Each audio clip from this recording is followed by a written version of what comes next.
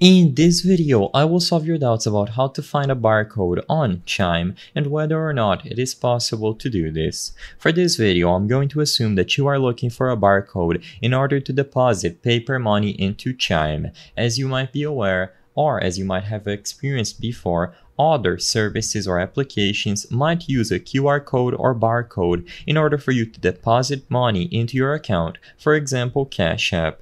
You might be wondering how to deposit money on Chime and whether or not you need access to a barcode. So, if you go over to the Move Money tab that you can find on the menu at the bottom of your screen, you will see the option to deposit cash. It is going to be highlighted as one of the main methods that you can find at the top of your screen. By selecting Deposit Cash, the app is going to ask for permission to use your location, and based on your location, it's going to give you options in where you can deposit cash nearby. Now, like I said before, this is where you might be wondering how to generate or find a barcode that you can use to go up to the location and actually deposit paper money into your Chime account. So as of today, is there any way to find barcode on Chime?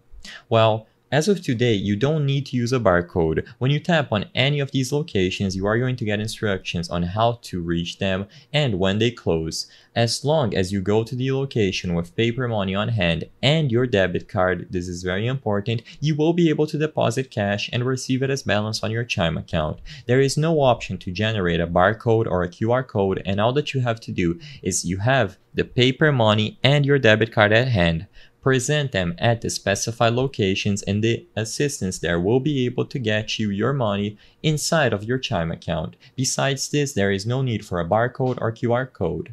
The purpose of this video is not to spread misinformation, but to let people be aware that Chime does not generate barcodes if you try to deposit cash into your balance.